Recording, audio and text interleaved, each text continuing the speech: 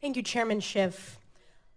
I want to ask a few questions of Mr. McCarthy regarding the opening of the counterintelligence investigation and protocols of notifying Congress, protocols that were not followed. Um, we know now that the FBI opened its counterintelligence investigation into the Trump campaign in July 2016, but they did not brief the Gang of Eight until March 2017, just days before former FBI Director Comey publicly announced the investigation during a March 20th, 2017 open hearing before this committee. So my question to you, Mr. McCarthy, is conveying sensitive information such as the opening of a counterintelligence investigation into a political campaign is exactly what quarterly briefings from the FBI to the Gang of Eight are intended for. Is that correct? I believe so. I don't see what would be the point of having the Gang of Eight. I agree with you. Do you think that the FBI director, in this case Director Comey, should have been allowed to decide when a CI investigation is quote unquote too sensitive for the Gang of Eight? I don't think the FBI director should do that because otherwise you can't have congressional oversight.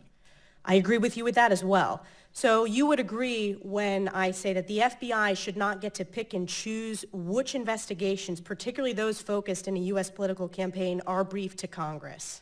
I, I think that's true, and I think, it, from what I understand from Director Brennan, he thought that he was obliged to, to comply with his Gang of Eight disclosure requirements. Um, is it appropriate for the FBI, in your opinion, to publicly announce the subject of an ongoing counterintelligence investigation in an open setting before fully briefing Congress on the matter? No, I don't think the uh, counterintelligence investigations are classified. I don't think the FBI, when it can, should ever confirm the existence of an investigation. Counterintelligence investigations classified, that's like a double no-no, and there's no reason that I can think of to announce publicly the subject of such an investigation, or to say that there be an assessment at the end of crimes being committed. We know now that Director Comey failed to follow established DOJ procedures during the conduct of this investigation. In your opinion, why do you believe that Director Comey decided to publicly announce the investigation in March 2017 instead of following the protocol and immediately briefing the Gang of Eight during his quarterly briefings? Um, I know Director Comey for 30 years. I have a lot of respect for him. Uh, and I think he goes about, uh, in my experience, he went about his business in, in good faith. I'm sure if he had a reason, if he did something, he probably thought he had a good reason for it. I don't agree with whatever the reason was, but I can only assess what he did. I can't get into his head. I want to highlight that I've introduced legislation requiring the briefings to the Gang of Eight, to congressional leadership when there is an opening of a counterintelligence investigation of a federal campaign. We deserve to know this. It is clear that in this case in 2016, the process and procedures were circumvented. This should have been briefed to the Gang of Eight.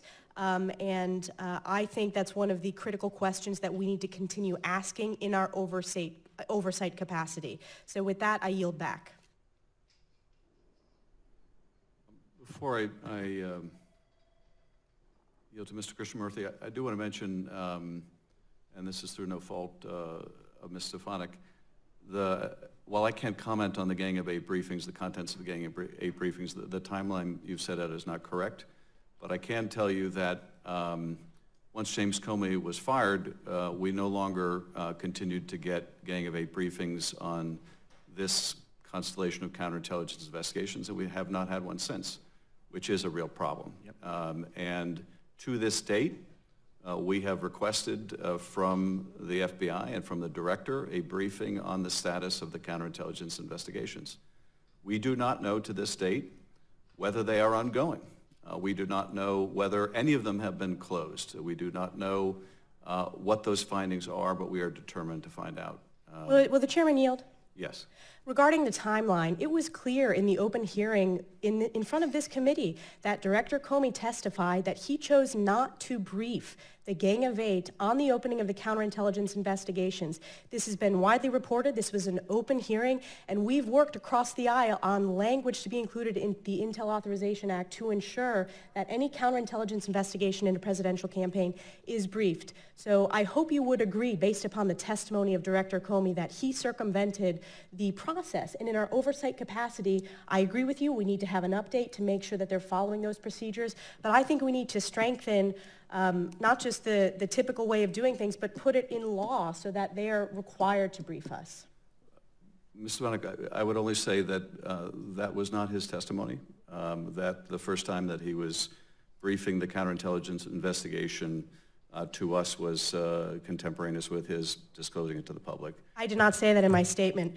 Will the gentleman yield? I said days before. So in And- March of and- and- 2017. And the representative is not accurate, and, and, but I cannot go into the timeline, but I ca- I can say that that's not accurate.